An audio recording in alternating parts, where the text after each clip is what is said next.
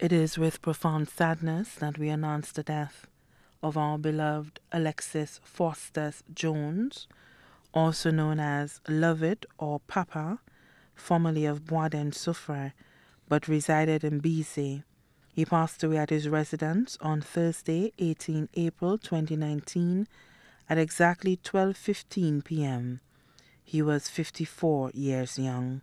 The funeral arrangements for our beloved Alexis Faustus Jones, also known as Lovett or Papa, will be announced in a subsequent broadcast. The body now lies at Crick's Funeral Home Limited, Fitbotay. And he always said, in a matter of time, everything will be all right. Blessed love. May he sleep in sweet peace.